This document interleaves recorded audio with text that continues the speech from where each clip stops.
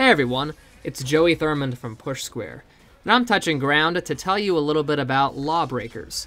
It's a competitive multiplayer shooter from Boss Key Productions, which is led by none other than Cliffy B himself. And I'm sure you recognize the name since it's attached to famous franchises like Unreal Tournament and Gears of War. He originally retired from the game industry, but he had an itch to develop that couldn't be sated until he returned and made something again. That's why he and his team have been working on Lawbreakers for the past few years. And while it was originally going to be a PC exclusive, which makes sense uh, since it's an arena shooter, it's actually arrived on the PlayStation 4 this week as well. But does the game stand a chance against other shooters of its kind? Before I tell you if that's the case or not, I'd just like to remind any viewers to smash that like button and subscribe to the channel if you're not already. But in all seriousness, only do so if you think we deserve it. Now, with that out of the way, let's go ahead and talk Lawbreakers.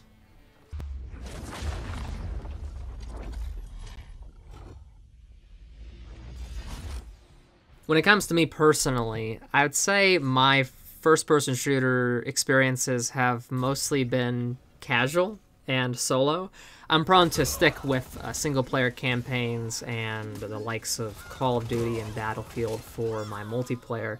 So when it comes to arena shooters and more competitive shooters like Team Fortress 2 and Quake and Unreal Tournament, I've only dipped a little bit in those kind of things. But I have gotten obsessed with Overwatch, as most people have over the past year and a half now.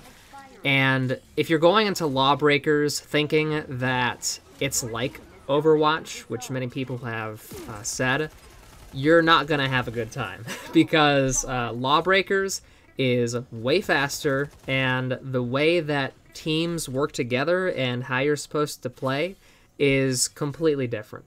So, allow me to explain. If you've played Overwatch, and I hope that you do play this way, you know that it's very important to have balanced team compositions and to stick with your team at all times because classes are meant to complement one another. I mean, if you have a Reinhardt, he's going to be with his team the entire time and relying on them to do the offensive and supportive work. Whereas someone like Mercy is not even focusing on doing damage whatsoever, but attending to each teammate's needs in terms of healing. But with Lawbreakers, a class like the Battle Medic isn't expected to stay back, because you can wield a grenade launcher and pistol and do pretty much the same amount of offensive damage as any other class. And that goes for the Juggernaut class as well. You wield a shotgun and can deploy a shield to protect your teammates, but it's more of a temporary, uh, stationary shield than one you can carry around. So really, you're more effective moving around like everybody else. So the point is that uh, Lawbreakers doesn't really need highly coordinated teamwork or heavily specialized roles when you play. It's very much a reactive, chaotic first-person shooter where you just go around and try to kill whoever you can. And I think one thing that really aids the kind of quick movement and chaos that Lawbreakers is going for is uh, some of the features in its maps.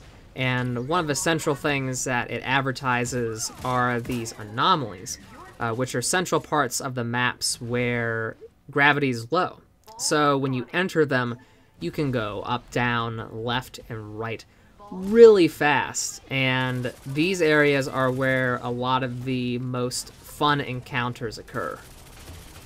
Not only do all the classes have great weapons that are fun to use, that are mostly balanced, um, they also have a lot of ways to get around the environment, such as the Vanguard, who has a jetpack that can send it flying faster than pretty much any other class in the game, which is a lot of fun in the low gravity areas.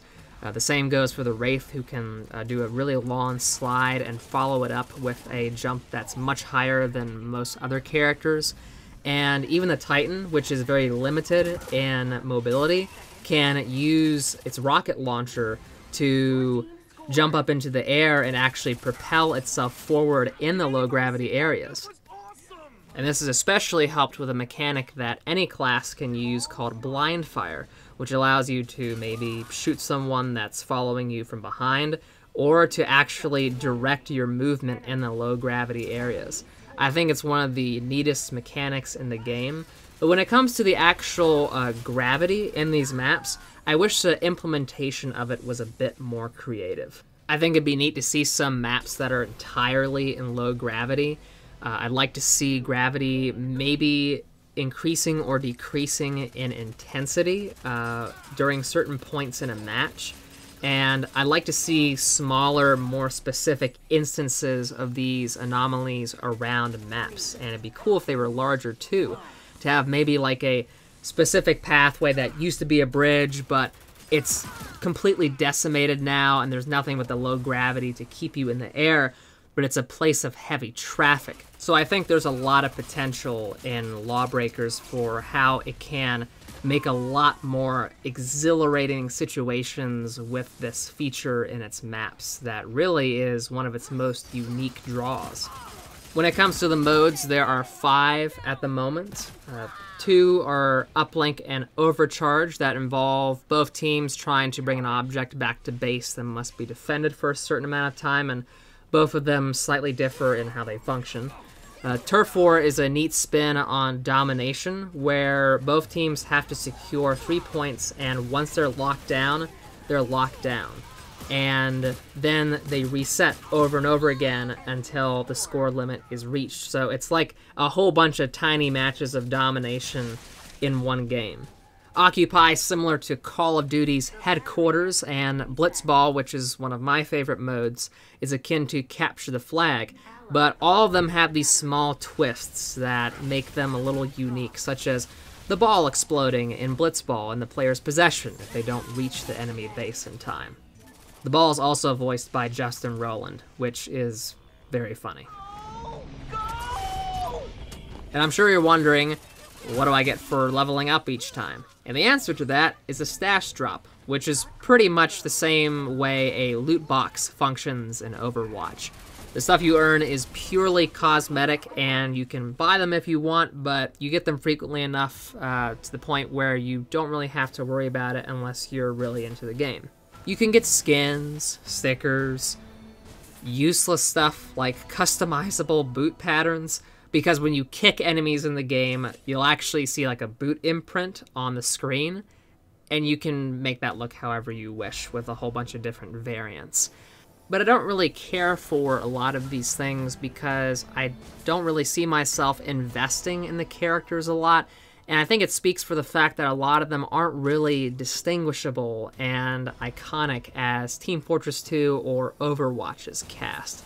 There are a couple skins I might like to get my hands on, but the main problem is that the realistic style combined with the irreverent tone of the game leaves a lot of the character design, voice lines, and some of the overall direction of the game feeling conflicted with some characters and personalities not matching up at all.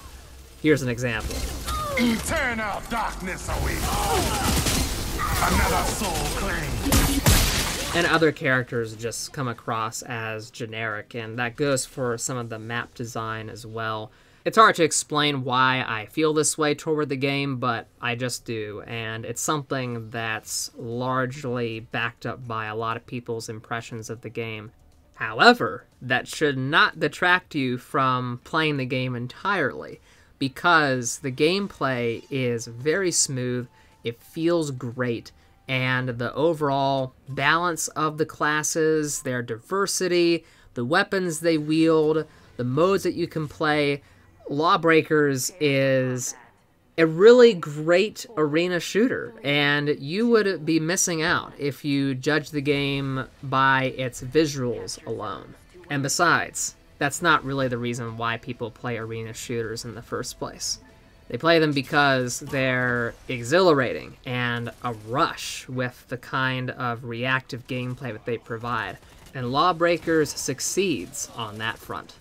I don't think Lawbreakers is an Overwatch killer because it's not really comparable to Overwatch. It's more of a great addition to the arena shooter scene.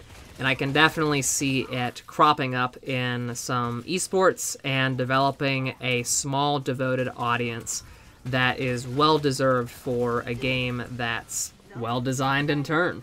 But do you think Lawbreakers will fade into obscurity, or did I perhaps convince you to give it a go? Let me know in the comments section below, and be sure to check out the written review on our website. Thanks for watching.